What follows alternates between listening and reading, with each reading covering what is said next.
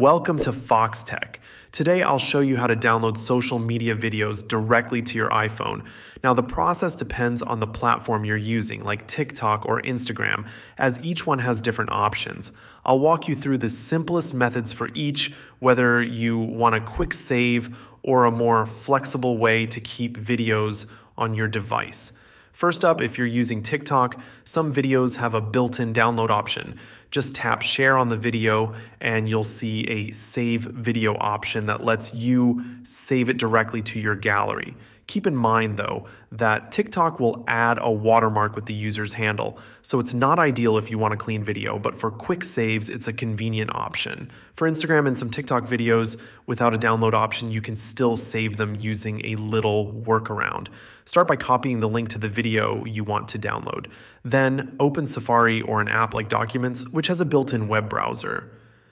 Documents is particularly handy for this process because it lets you keep files organized directly in the app. In the browser, search for a video download site.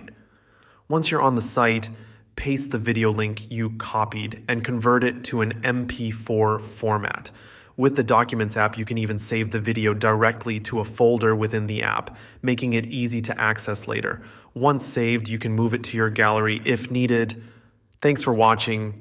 And if this guide helped you download social media videos on your iPhone, please like the video and subscribe to Foxtecc for more iPhone tips. See you later.